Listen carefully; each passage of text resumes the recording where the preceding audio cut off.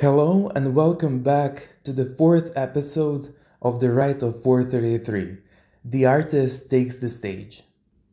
This episode is primarily dedicated to the art of performing as a soloist with the orchestra. Maurice Ravel, one of the most renowned composers of the 20th century, at the beginning of 1930s was working on two different piano concertos he completed the piano concerto in D major for the left hand first. It was commissioned by the Austrian pianist Paul Wittgenstein, the brother of the famous philosopher Ludwig Wittgenstein. Paul had lost his right arm during the war. Ravel was stimulated by the technical challenges of the project, saying, In a work of this kind, it is essential to give the impression of a texture no thinner than that of a part written for both hands. Ravel, not proficient enough to perform the work with only his left hand, demonstrated it with both hands. The concert pianist, Wittgenstein, was initially disappointed by the piece, but after a long study, he became fascinated by it and finally ranked it as a great work. In January of 1932, he premiered it in Vienna to instant acclaim and performed it in Paris with Ravel conducting the following year. The critic Henri Prunier wrote about the piece. From the opening measures, we are plunged into a world in which Ravel has but rarely introduced us. And now we will hear what it truly meant to be a one armed concert artist with our first musical example the last soloist cadenza and the finale of the piano concerto for the left hand by Maurice Ravel.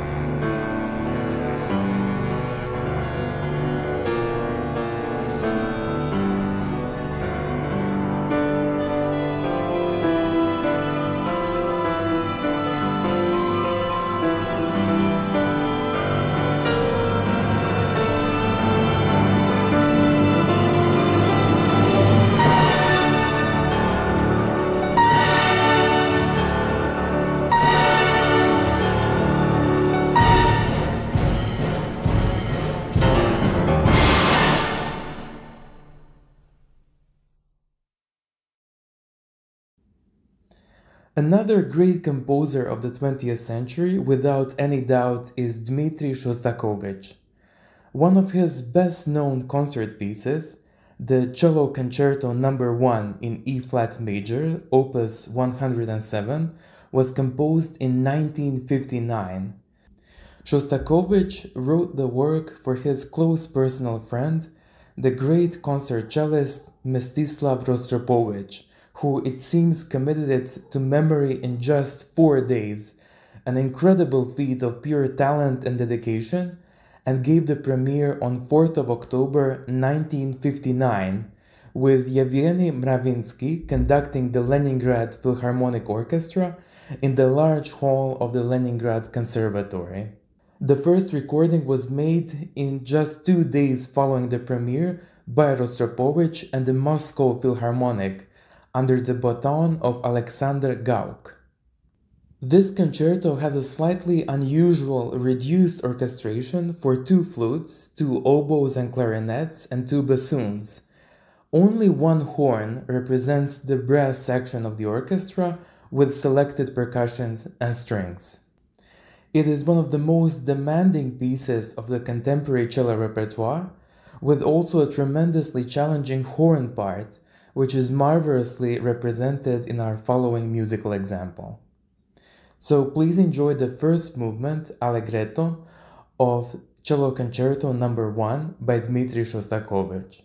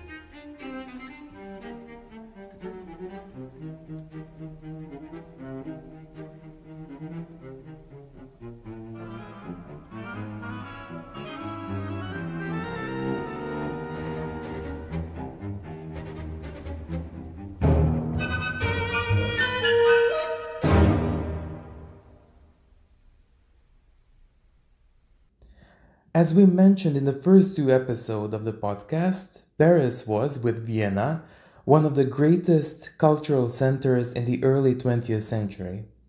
One of the most accomplished and talented composers that came out of that era was Darius Milhaud.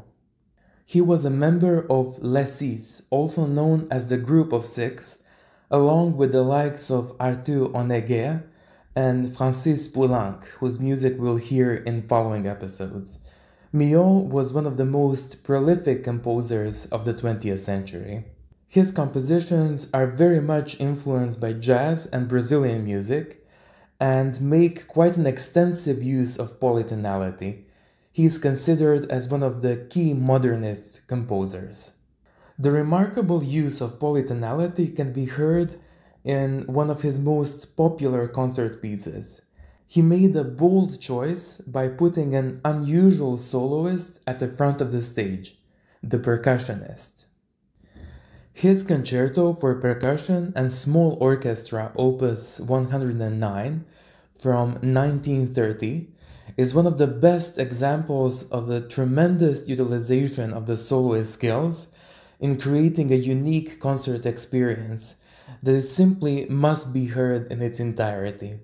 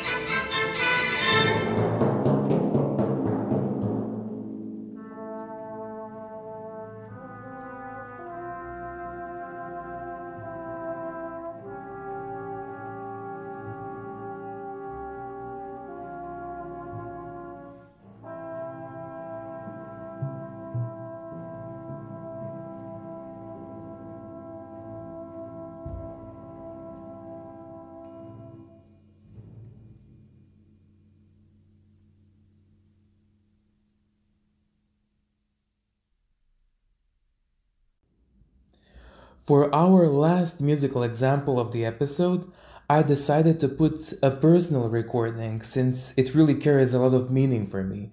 The composer is Adalbert Markovic, one of the best Croatian composers of the second part of the 20th century, and the work is entitled The Concert Piece for Guitar and Orchestra. It's a beautiful, predominantly lyrical piece with a slightly unusual structure. It opens up with a dramatic timpani solo, followed by one of the total of three soloist cadenzas. The composer beautifully showcases his compositional prowess in creating both a dramatic and lyrical dialogue between the soloist and the orchestra.